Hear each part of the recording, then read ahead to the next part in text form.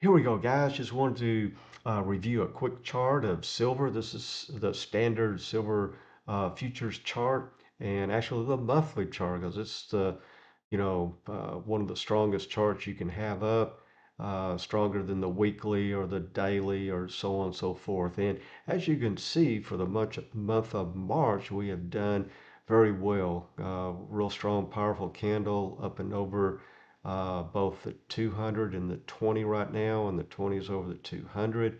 And we actually came down, tagged the 200, that purple line, and you know rebounded. And it looks like we have you know less than two hours ago, so it looks like we're going to be closing over uh, the previous month's, uh, of course, uh, candle here, which is very positive, very bullish. And then on top of that, we put in a you know a low, actually even going back here a low, a higher low, and now a new higher low. But of course, there's always a but, you know. Well, we need to really send this thing off uh, the price of silver. We need to get, get a monthly close up and over that red dash line because as you can see, you know, we made a high, lower high, lower high, lower high, then again, lower high here.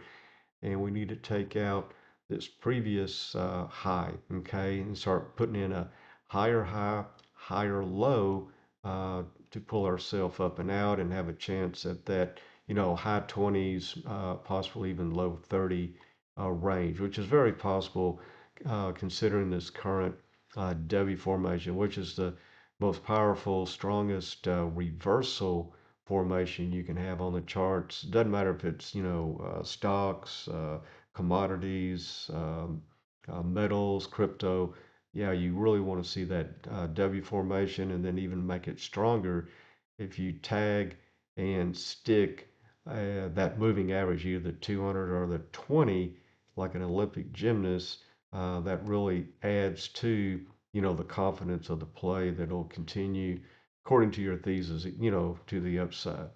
So, all right, guys, uh, thanks for watching. Uh, we, we're positive on silver. We're looking for, you know, more upside you know, it's not going to happen overnight. Uh, you know, after that 2020 COVID slam down, it's taken this long to, you know, come back in and uh, and then start making those uh, higher lows, and then hopefully soon, as we talked about, higher highs.